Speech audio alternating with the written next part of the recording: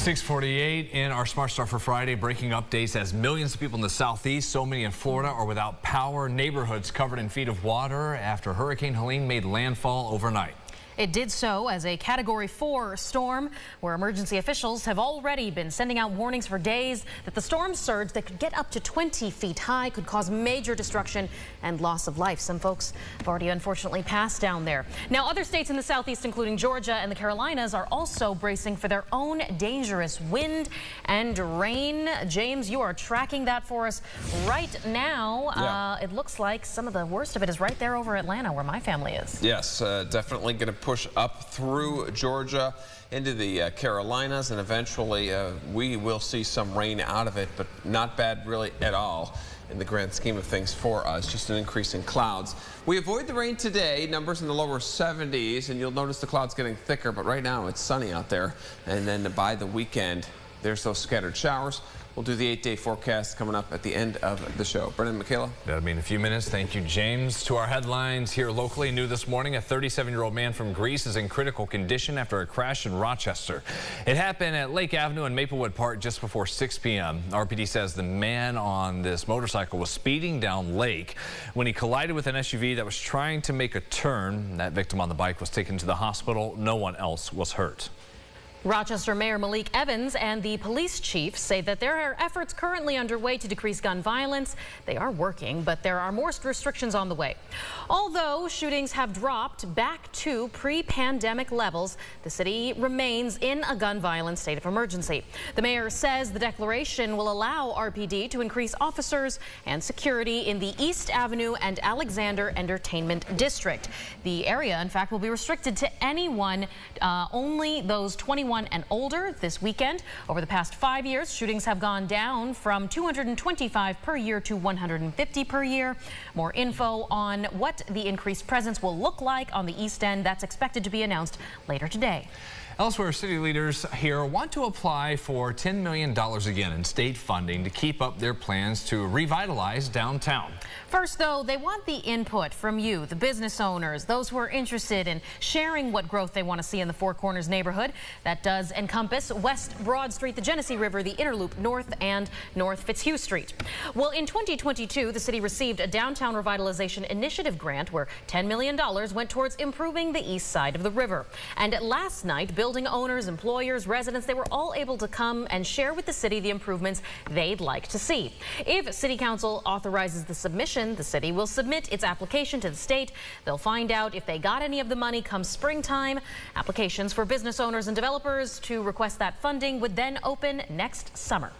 Sunrise traffic here, eight minutes to go until 7 o'clock. Crash just reported moments ago in Henrietta at West Henrietta Road and Summit Point Drive.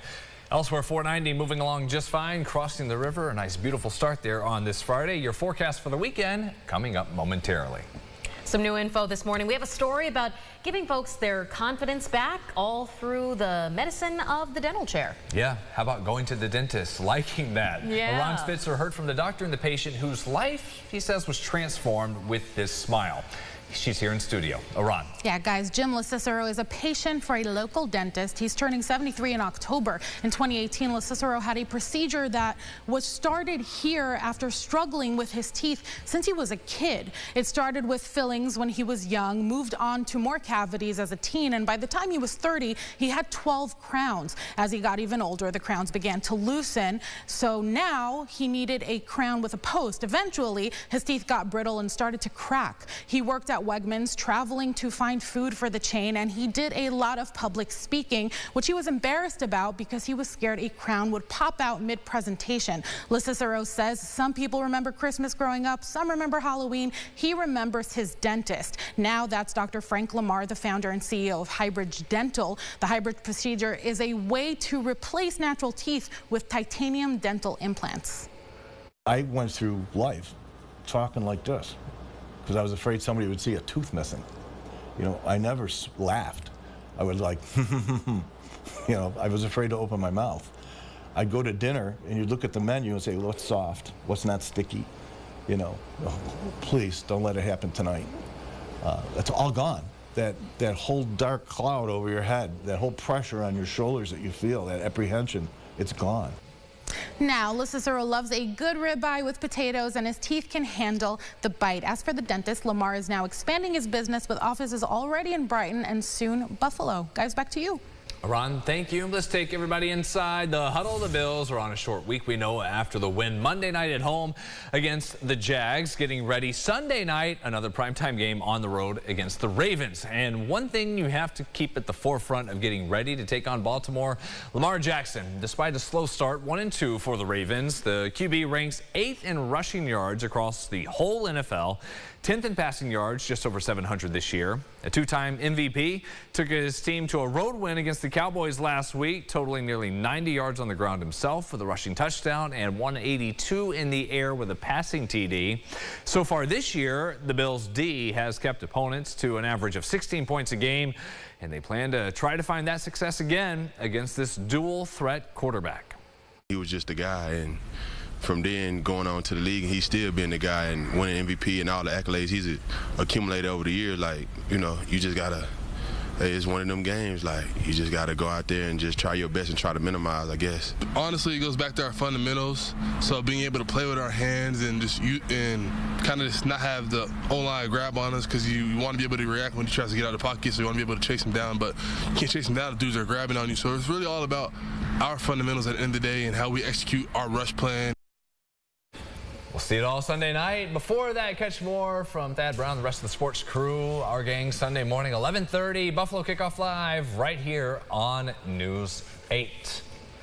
Yeah, really fun. watching that. That's going to be a fun time. Yeah, it's uh, it's always interesting when you're uh, practicing uh, playing against a quarterback like that. Mm. Yeah. Because you tell the second team quarterback to just run around like crazy. so we have to try to catch him. People do the same thing for Josh Allen Yeah, every week. Exactly. You do what you Yeah. can. When Yeah. he slings the ball left and right. Should be a, a good game there. Friday night football tonight should be fantastic for you. Forecast looks good. We are dry.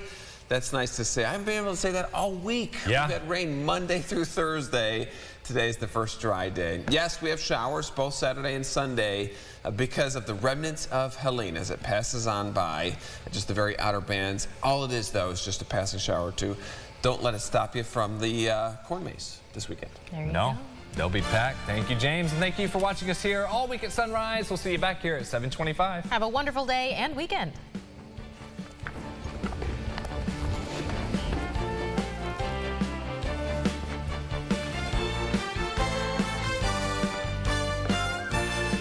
Follow News 8 wherever you are on RochesterFirst.com, Facebook, X, and on our app for news and weather.